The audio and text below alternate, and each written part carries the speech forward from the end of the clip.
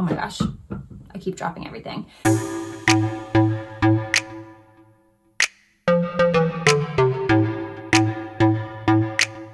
guys, what is up? Welcome back to my channel. It's apparently turning into this thing where I just don't wear makeup anymore on the videos, so I hope you don't mind because it's just looking like it's going that route these days. Um, but I have some really, really exciting things to share with you guys today. It's something that I don't normally talk about and it's acupuncture related. I'm so excited to finally be kind of like introducing that a little bit to you guys. But um, today we're gonna be talking about facial cupping at home. So uh, I am going to unbox this brand and tell you all of the things that you need to know to get started for at-home cupping to help to release stagnation in your skin. And we'll talk about what that is. And then just to give you a facelift, um, no guarantees, of course, but you know what I mean.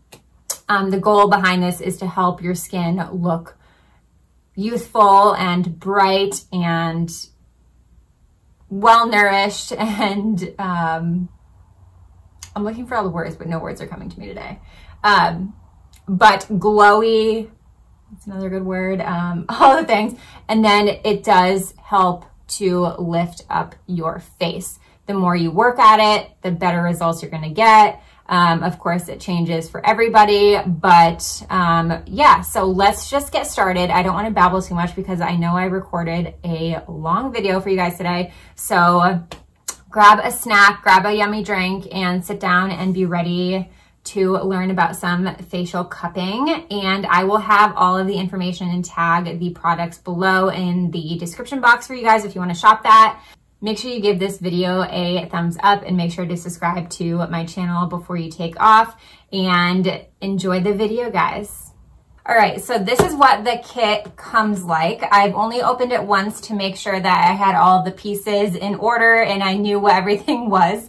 So I'm just gonna pull everything out one by one and then show you how this cupping set arrives. So first of all, you have your rose hip oil, which is good for all kinds of things, helps with acne, scarring, dry skin. So like you get all the benefits of it being like a serum treatment.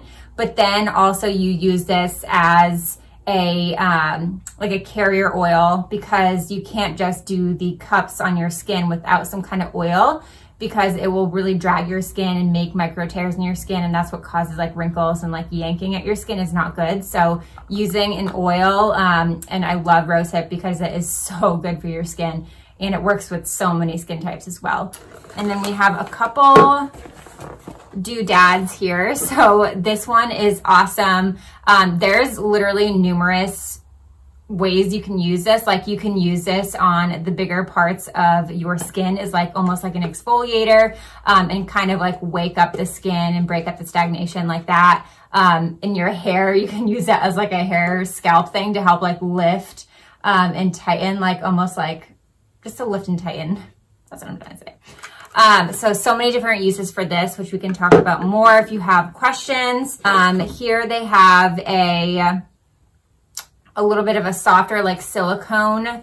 Um, I would use this as like a cleanser, you know what I mean? Like kind of cleansing your skin or um, you could use it with some of the oil as well and do that for like a scrub.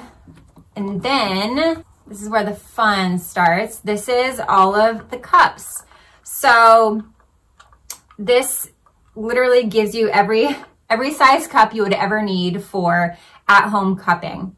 Um, now I want to show you something. So you guys may or may not know that I actually went to acupuncture school and I'm currently working on my certification still. I have one more board exam to take, but just with all with all the stress from graduating and just I got married last year and all the things, I just kind of put that on the back burner for now. And now with COVID, I don't even know if like the testing centers are open and all that. So, so in acupuncture school, we learned how to do cupping and how to do all of this. Um, they didn't teach us facial cupping. That was something that we had to kind of like learn on our own if we wanted to uh, dive into that. So I actually am very, very experienced with facial cupping and you don't need to be licensed to do cupping. Um, and you can definitely obviously buy it for at home. Um, I want to show you a couple things. You have real cupping sets um, for acupuncture that I use. Um, and this set is like $200, right? So not everybody's gonna have this set because that's just a lot of money for somebody to spend um, when you could just have like a smaller kit and it's safer and more convenient for um, people at home to do it. Like you can even like give this to your kids, right? And they can play with it. It's not really gonna hurt you. I mean, it could hurt you, but you know, not as likely to be more dangerous um, or contraindicated for certain things as these. So this is what professional acupuncturists use. These are just suction cups. Um, traditional Chinese acupuncture uses fire in a cup, but I prefer this just because it's a lot easier for like suction. So professionally, this is what we use, but you can get the same results.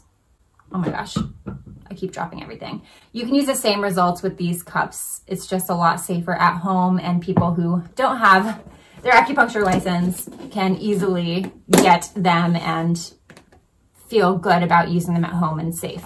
So then just a couple other tools too, just to show you like the cupping options um, in general. Some acupuncturists use these as well.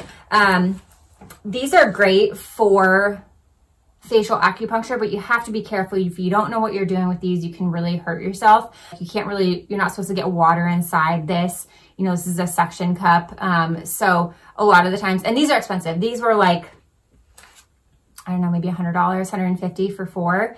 Um, so these are not very ideal to have at home just because, you know, a lot of people don't know how to clean them right, all the things. So that being said, what I would even recommend to my patients when I am officially licensed is buying these sets because it is so easy. You get all of the sizes. They are just like a tough silicone plastic and you can wash the heck out of them and be fine. Let's just start with a little bit of like, why would you do cupping? Okay. So cupping, what it does is it helps to break up and release stagnation in your body. And stagnation is a term in Chinese medicine that we refer to as, you know, usually if there's like pain or congestion, like anything stuck, it's stagnation and it could be blood, it could be energy, um, it could be a number of things. It could be due to trauma. It could just be due to like hormones, like something stuck in the area that's causing a problem. Um, so by releasing the stagnation in the area, it helps improve the blood circulation, the blood flow, which in turn helps with your skin just looking better and fresher in regards to facial acupuncture. Um, so this is really, really great way to kind of as a beginner at home, get one of these sets and play around with it, see how it works on your skin. Um, in school, it's so funny, we would play around with these and I had one friend in school that had, um, she would get like hormonal stuff, which I do too. And she would kind of go hard in the paint and just have a cup on her skin, like literally here and here and then she'd come in and have like bruises from it just because that means like there was a lot of stagnation but you do not need to go that intensely like you do not need to even really see redness if you're doing it correctly. Like there should be no pain. There should be nothing you know leave the intense treatments to the real acupuncturists and people that are licensed to do this. Um, just want to throw that little disclaimer out there. So just be careful with your skin. Um, make sure you don't have any you know open wounds when you're doing this, things that seem obvious, but um, just be careful. Also, you don't want to be like dragging the cups over like moles and stuff like that. So I'm going to just show you briefly what you do um, and how I, I do it. I know there's a million different ways and some people may think this is right. Some people may think it's wrong. Some people may be not knowing what to do. So this is how I do it. This is how I learned um, in the videos and books. I have tons of books on acupuncture and cupping and facial treatments and all that. This is how I learned how to do it. Um, so there are a million ways to do it. Do what's ever comfortable for you. Um, I do want to also mention really quickly, I'm not going to show you this, but if you have cellulite, legs, anywhere on your body, you can use the bigger cups helps kind of like even out the skin tone over time um, and could help diminish the look of cellulite. Um, but of course, nothing's guaranteed. Nothing's ever guaranteed in this world, right? Okay, so first things first, you want to make sure that you have a clean skin, clean skin, you wanna make sure that you have a clean canvas here. So I literally just washed my face. I laid out in the sun for a little bit this morning, so I'm a little bit more red. Um, and I just like clean my skin. Might even have a little bit of my under eye balm on, that's okay. So the first thing you do is grab um, an oil. So all you need is just a few drops. So I'm just gonna put a couple drops in my hands and then in my fingertips, just like very softly, like pat it on. You guys know how to apply serums, right? Make sure it's covering all of the surfaces of your skin that you're gonna be cupping. And since I'm gonna show you a little bit on my neck as well, I'm just gonna put a few more drops on my neck and chest, okay? And then what I learned in the past is if you don't wipe off the oil and ointments before you start cupping, it's very hard to hang on to the cups. I know that seems like obvious, but sometimes you forget and it's all over the place. So a couple things to remember is I don't know, I'm not a massage therapist. I don't know any of the science behind that, but I do know that there are lymph nodes and things that drain, right? So you don't want to be pushing up on your lymph nodes because you don't want to push things back up. So what you want to start off doing, you can use whatever size cup works best for you for like, typically like if it's a smaller area, use a smaller cup. And if it's a bigger area, use a bigger cup. That's kind of like the rule of thumb. Oh, first you start underneath your ear. So you just squeeze and it makes like a kissing noise. Um, and you can, after you kind of get the hang of it, you can squeeze it on and it will stick by itself. It looks creepy, sucks up your skin. Yeah, it's weird. Um, so you can drag it down too and it stays. Um, the only thing here is since it's draining down, you don't want to go back up with it as well. But like when you're getting cupping done on your back, say at an acupuncturist office, we do do sliding cups up and down the back. You just don't want to push all that gunk back up into your, into your face and head. So make sure here you're always just going down. And it is very difficult on the neck, just FYI, um, because every little angle and crevice that it hits, it comes unsuctioned. So sometimes it is easier to just like lift it off instead of dragging it down if, I mean, you'll get the hang of it. Once you start doing this, you'll be like, all right, this is hard. I know what she's talking about.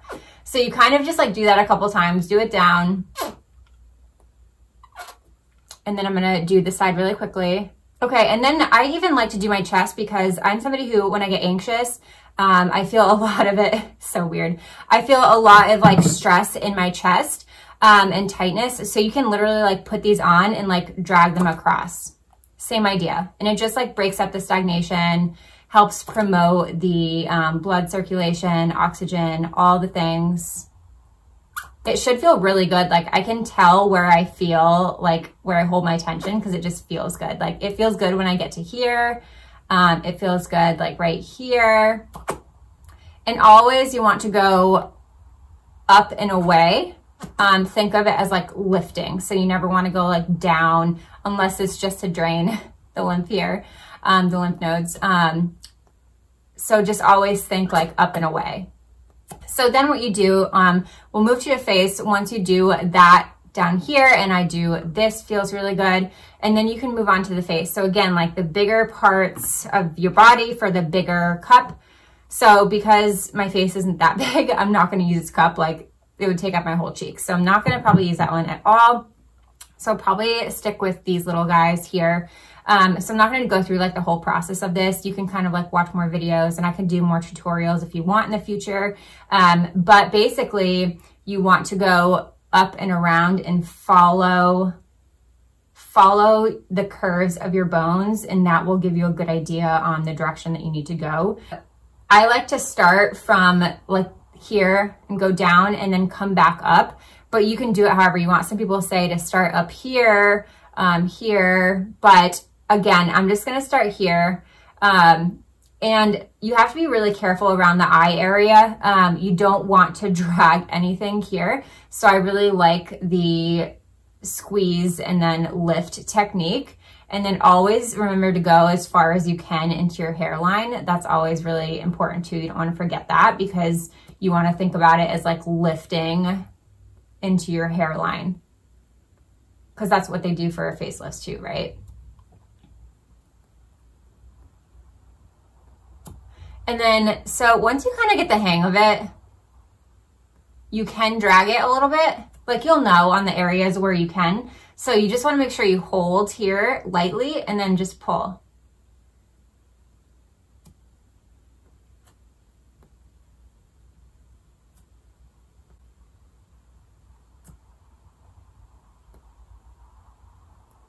And then you can do the same thing right underneath. Um, I know I'm to get the question like, how many times do you do this? Do it, you know, I'd start with a couple and then you can graduate to doing more every time you do it. Um, and then I would start doing it like once a week and then, you know, for a couple weeks and then do um, twice a week. And then I don't feel like you should need it more than that. Um, so just do you know, once or twice a week, I would say is all you need. On top, what I'm gonna do is kind of start here and drag it to here because that's kind of where the wrinkles are. And then that also is like lifting up and out. Now that you kind of covered that half of your face, you just take a little one and you want to focus on like the fine lines and wrinkles. So like I have some here for my smile lines. I have a couple here and then just like a few random ones up here that I'm starting to notice. So I would just take the small one to really concentrate in the small areas and just kind of pinch it on that and do that like over and over again. I'm not going to sit here and do this with you guys. Um, but same thing around your eyes. Like you can do the little ones here. Just make sure that you're not dragging it. This is more of like the squeeze and let go thing. Um, and then you can just like really focus on the area. Um, you could stay here for a couple minutes and do this on your fine lines and wrinkles. Like say you had like a deep wrinkle here, you could just stay here for, you know, five minutes and like kind of drag it back and forth on that. But you kind of want to, same idea behind cosmetic acupuncture on your face when you have needles in your face.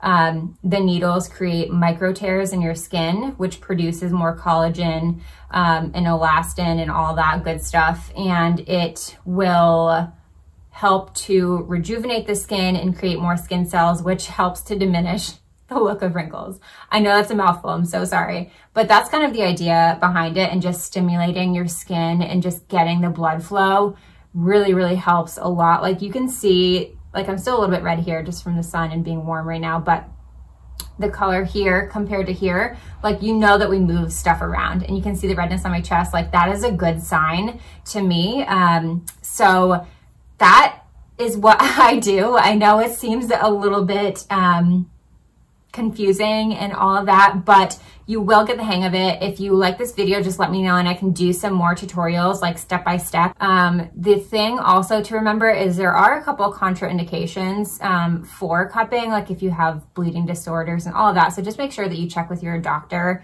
um, before you try experimenting with anything like this, um, just for safety. And then also a good rule of thumb to remember um, with acupuncture, they always tell us after cupping, there are some things that you're not supposed to do for 24 to 48 hours.